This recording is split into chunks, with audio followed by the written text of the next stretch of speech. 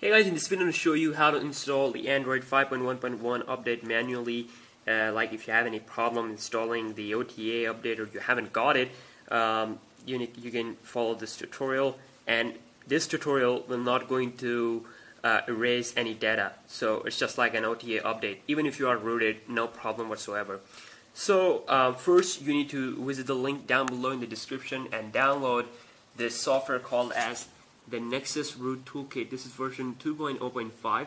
Uh, so download the latest version and open it up and first it will ask that what device you are using. And the only Nexus devices are listed because of course this is a Nexus Root Toolkit. So select the Nexus 5 and select the firmware that you are are running. I'm on the 5.1.1, uh, the latest version. I have upgraded already, so that's why uh, but you can uh, have uh, like 5.0.1 of course uh, or 5.1.0 yeah that is the previous version. So you need to select the software whatever version that you are running. Even if you are on KitKat doesn't matter.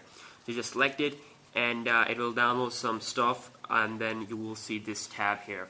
Now what you need to do is you need to connect your uh, Nexus 5 to your to your Windows device and then you need to click here this option here called as flash stock plus unroot. You need to click and then you need to click OK.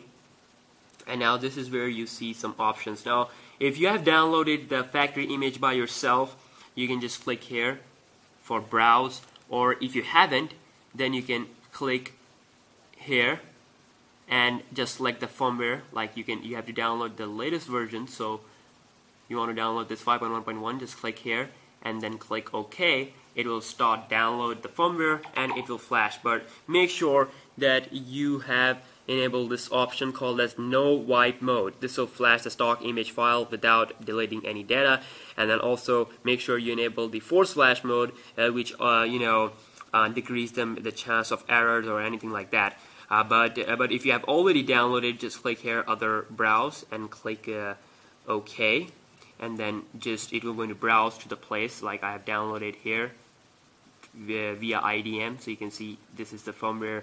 It is 578 MB just double click it and then it will uh, start doing some extracting and stuff like that um, and then it will ask you to uh, transfer your device into the into the fast boot mode which you can do is by just powering off and when your Nexus 5 is powered off hold down the power and the volume down key at the same time for a couple of seconds you will be in the recovery uh, or in the uh, in the bootloader mode. And from here the process will automatically automatically going to um, you know start. So yeah uh, this is pretty easy to do. I've done a review. Also if you're interested then do check it out please. And um, and I'll be making more videos with it um, um, waiting for the Nexus 6 update. I'll be doing the same stuff with the Nexus 6 also.